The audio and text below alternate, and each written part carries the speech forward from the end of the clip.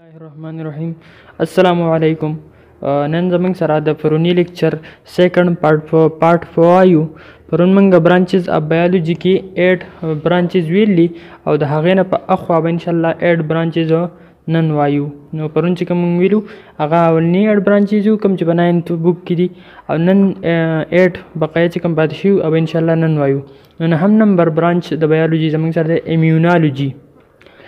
امیونالوجي ډیل وذ د باډي سیستم اف ډیفنس اگینس ډیزیزز کازینګ مایکرو ارګانیزم امیونالوجي د بایولوژي هغه برانچ دی چې په هغه کې مونږه د مایکرو ارګانیزم د وجې نه چې کوم ډیزیزز کاز کیږي کومې بیماریانې لګي د جسم ته کومې بیماریانې کاز کیږي د هغې خلاف دفاع پکې موږ سټډي کوو د هغې خلاف ډیفنس پکې موږ سټډي کوو یعنی چې د په جسم کې د مایکرو ارګانیزمز د وجې نه کومې بیماریانې لګي د هغې خلاف موږ ډیفنس سټډي کوو مطلب موږ به د دې بیمارۍ نه څنګه بچ کیږو موږ څه استعمال کو چې موږ د دې بیمارۍ نه بچو لکه مایکرو ارګانیزم بکټیریا د وجې نه یو ارګانیزم ته بیماری ولګي یا د وایرسو د وجې نه ولګي یا د مایکروسکوپیک پنجایي یا داسې نور قسم مایکرو ارګانیزم چې د هغې وجې نه جسم ته بیماریانې لګي نو د هغې خلاف ډیفنس موږ د بیولوژي په دې برانچ کې یعنې په ایمیونالوجي کې دغه سیل کو موږ سټډي کوو نو ایمیونالوجي د بیولوژي هغه برانچ دی چې په هغې کې موږ د مایکرو ارګانیزم نه چې کومې بیماریانې کاز کیږي د هغې خلاف ډیفنس پکې سټډي کوو نهم نمبر دی entomology entomology deals with the body uh, entomology deals with the study of insects انټمالوجي د بایولوژي هغه برانچ ته چې پای کې موږ انسیکټ سټډي کوو انسیکټ څه ته ویل کېږي حشرات ته ویل کېږي مطلب کم چې دا میږي شو اینډس چې ورته موږ وایو یا زموږ سره دا چارمخکۍ غونته کې شوې لیزرډ چې ورته وایو یا داسې دا نور قسم ارګیزم کوم چې په دې ځمکو کېږي او دغه انسیکټس دي یعنی حشرات دي لکه دا چینجي شو او داسې نور قسمه څیزونه دا په انسیکټس کې راځي نو په ایمونولوژي د بایولوژي انټمولوژي د بایولوژي هغه برانچ دی چې په هغې کې موږ انسیکټ سټډي کوو انټمولوژي د بایولوژي هغه برانچ دی چې په هغې کې موږ څه سټډي کوو انسیکټس انسیکټس مین حشرات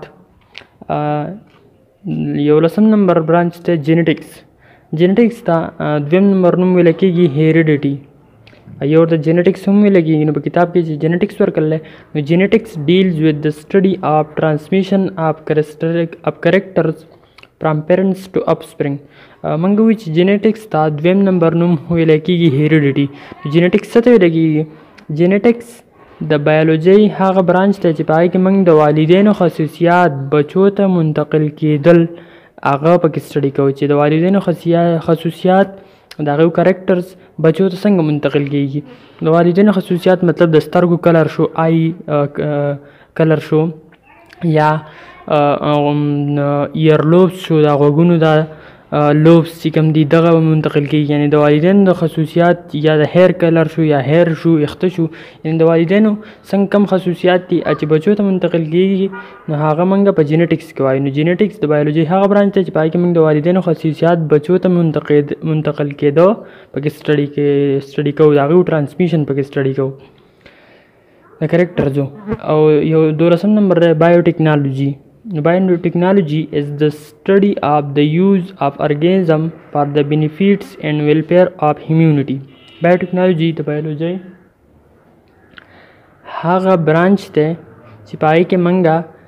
د ارګینیزم چې دي هغه د هیمیونټي لپاره یعنې د انسانیت لپاره د انسانیت د پیدې لپاره دا او د هغه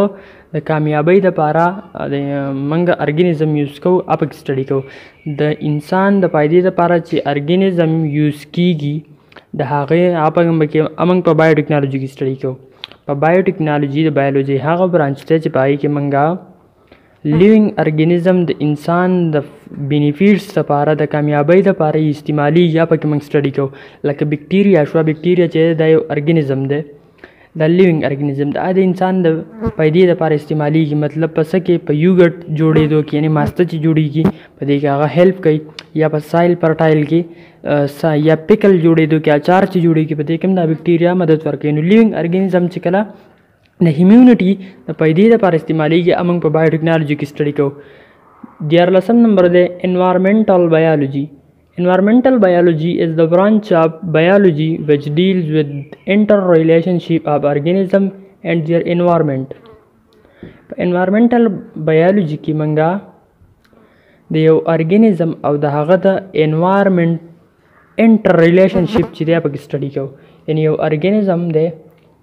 او د هغه چې کوم ماحول دی د هغه چې کوم انوایرمنټ دی د دوی د یو بل سره څه انټر ریلیشنشپ دی د یو بل سره څه تعلقات دي نو هغه موږ په انوایرمنټل بایولوژي کې سټډي کوو نو انوایرمنټل بایولوژي د بایولوژي هغه برانچ دی چې په هغې کې موږ یو ارګانیزم او د هغه د انوایرمنټ په منځ کې انټر ریلیشنشپ سټډي کوو څوارلسم نمبر دی پیراسټالوجي نو پیراسټالوجي از د برانچ اف بایولوجي ویچ ډیلز وذ د سټډي اف پیراسایټس اینډ آل اسپیکټس اف پیراسټیزم پیراسټالوجي د بایولوجي هغه برانچ ته چې پای کې موږ پیراسایټ سټډي کوو او دا هغه د پیراسټیزم طریقې سټډي کوو سټډي کوو پیراسایټس هغه ارګانیزم ته ویل کیږي چې هغه خپل خوراک د بل نه حاصلوي او هغه له سپایده نه ورکوي لکه د انسان په دې کولمو کې چې کوم اچینجی دا خپل خوراک د دې ناصیرې خو دله ځه پیدا نه ورکوي بقایې نقصان ورله ورکوي او د دا نو پیراسټالوجي د بایولوژي هغه برانچ دی چې پای کې موږ پیراسایټ سټډي کوو هر هغه ارګانیزم چې خوراک د بل ناصیرې او بل نقصان ورکوي پیدا نه ورکوي هغه موږ په پیراسټالوجي کې څه کوو هغه سټډي کوو نو او د هغې چې کوم د پیراسټیزم طریقې دي یعنې دی څنګه دا خوراک حاصلوي دا هر څه موږ په پیراسټالوجي کې سټډي کوو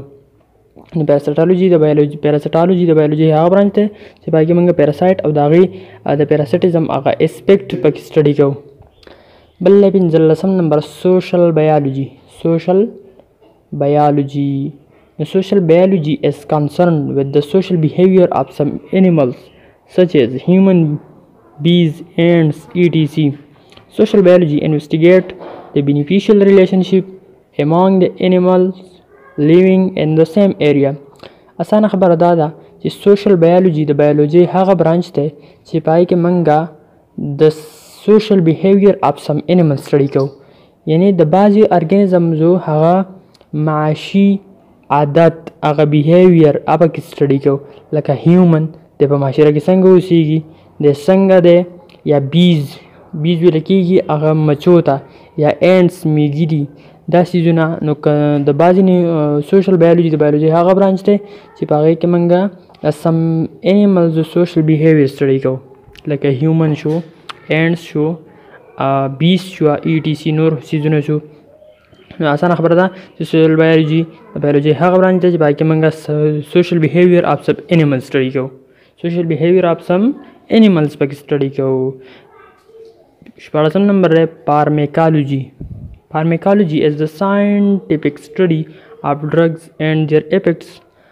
and the human body. Pharmacology analyzes the synthesis and breakdown, biological activity and effects and delivery of drugs. فارمیکالوجي د بایولوژي شپاړسم نمبر برانچ دی په دې کې موږ ساينټیفیک سټډي اف ډرګز کوو ډرګز ویل کېږي دوایانو ته په دې کې موږ د دوایانې سټډي کوو کوم چې میډیسنز دي ډرګز تیارېږي دوایانې څیزونه تیارېږي او د هغې په انسان باندې څه حسرات دي اوس په دې ډرګز کې کم نور دا خراب سیزونه هم کېدای شي لکه چرس شو هم په دې ډرګز کې راتلی شي نور سیزونه شو د هغه پوډر شو دا هم په ډرګز کې راتلی شي نو په دې کې موږ ساينټیفیک سټډي اف ډرګز سټډي کوو په دې کې موږ ډرګز سټډي کوو د هغې په انسان باندې څه اثر دی ان د یو څیز دی هغه انسان وخوري د دغه په انسان باندې احساس لري نو دغه سټډي موږ پسې کو پارمیکالوجي پارمیکالوجي د بایولوژي هغه برانچ دی نو پارمیکالوجي د بایولوژي هغه برانچ دی چې پای کې موږ ډرګ سټډي کوو د هغې په انسان باندې څه اثرات دي هغه پکې موږ سټډي کوو